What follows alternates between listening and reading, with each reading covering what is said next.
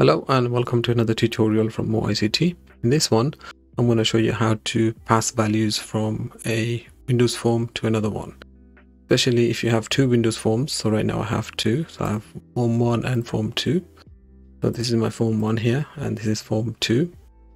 So what I want is I want this picture box and this label to be populated from the information that's provided in this one. As soon as we select a picture or use a URL to grab a link for a picture, I want the picture to display on this picture box alongside with the information about it.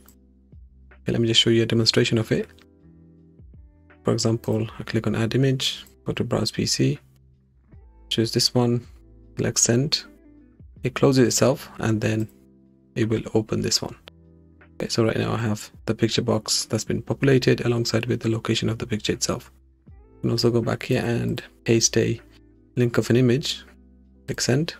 The image will also then be loaded into the picture box along with the URL address. Okay, so we're going to do this one very quickly in Visual Studio. Let's go ahead and create a new project. Okay, in this window, I'm going to click on create new project. I'll choose my Windows Form.NET uh, app. Uh, let's name this project as values form 2 to from form 2 to form ICT.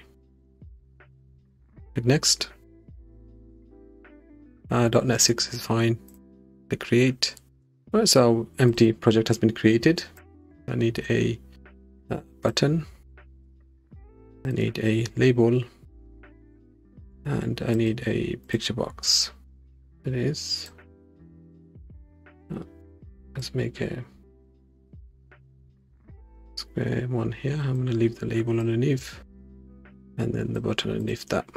For the label, I'm gonna turn off auto size so I can resize the label manually. Also allows us to center the text. And then go to text align. Enter the text in the middle there. Place the button right here, say image. Oh. Need to be in the text option that image. Then we'll just resize the windows here.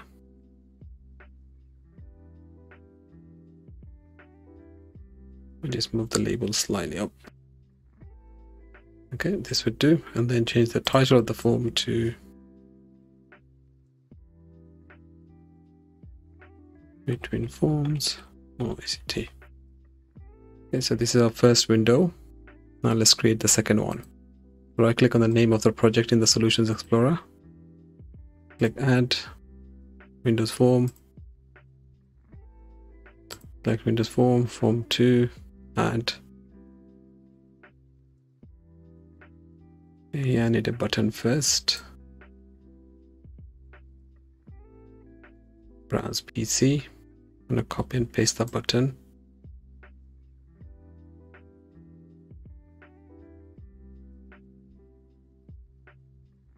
And place it here.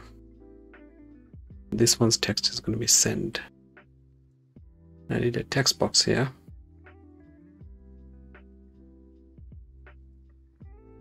The text box I just place in the middle there.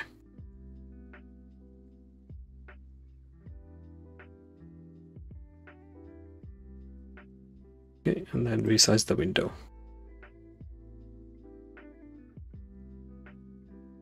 Okay. Just renaming the title text. Okay, we got both of our forms. Now I'm going to add an event to the add image button from form 1. So click on the button, go to the events window, type in add image, click event. Okay, and that will create the click event here. Then we also need events for the other two we'll uh, uh, create an instance of the form 2 here first. Form 2 new form equals to new form 2 okay and the new form will show dialog. This will open up the new form for us. Okay and then in this window i'm going to click on the browse pc go to the events window see. Browse for image. Click. Okay, go back to form 2 again. Go to send button here. Uh, and inside the click say send OK. And send that over as well. Go back to the form design. Uh, while the send button is selected, go to the properties window and then there's a dialog result option here. Uh, we want to set that to OK because we're going to be using the dialog result to check whether a OK was sent from form 2 so then we can pass the values of form 2 back to form 1 okay, after that actually let's check if this is working first and then uh, we can start off with form 2 right. okay, okay that's fine. So as you can see as soon as I click send it closes itself because this is a OK button at the moment. So this is seen as a message box. Okay, that's great. All right, so the way we're going to send messages back and forth is by using a static string variable in form 1. So what a static variable does, it allows us to sort of access it without instantiating a class. So by having a static variable inside of a class, you simply need to reference the class and then call the static variable to change its values. Uh, let me just show you quickly how it's done. So it's public static string file name equals to string empty. Okay. Right now opening the other form here. Okay, and then if I delete this line from there, I can just say dialog result poly results equals to for new form dot show dialog right so whatever result that comes from there and then we can capture that. And then I want to say if result is equals equals okay then label one dot text is equals to file name. Right? So we just keep it at that for now just to check if the file name is passed back into the program. Let's go to form 2 and inside the browse for click event. Right here I can check um, the open file dialog ofd equals to new open file dialog so create a new open file dialog here. Ofd.filter file name filter equals to images only. We only want to input images files and then I use a pipe symbol to then define which images I'm after. Asterisk.jpg semicolon asterisk.jpeg oh, semicolon there. No, asterisk asterisk.png semicolon asterisk.gif okay so these are the only files that we're allowed to load. Okay. And now we can say if okay, ofd.show dialog equals equal dialog result okay. We click the ok button on this form then we can send the information to the other end so here we can say uh, text box one. Dot text is equals to path dot get full path. And then we'll get the file as in the OFD dot file name here.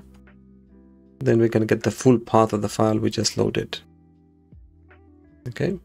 And inside of the send okay event we're going to say form1 the file name. So as you can see here, we don't have to instantiate the form one. We have access to the file name variable directly from there. That's because we're using a static keyword on the variable.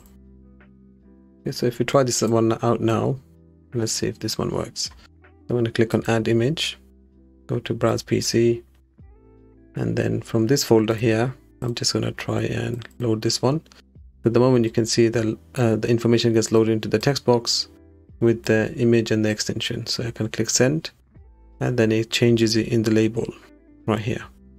We can also do the same with links um, such as URLs of images. So right now I'm using an image here and then if I click send that also will then get updated onto the label because it got sent from the text box because we're sending everything from the text box into the file name variable once we click OK. Right? Or send. So if I cha change the image again to say arrow, then the Cairo one will load up. Okay, so that's all we need to do for the form 2. Let's move back to form 1 and here we can now finalize the program. Okay, so instead of here, I'm going to do another if statement here. So I need to do two things. First, I need to check if the file name starts with HTTP or HTTPS keyword. So that means that's an online URL. Then I need to use the picturebox1.load option. If it's a local file, then I need to use the image.from file option.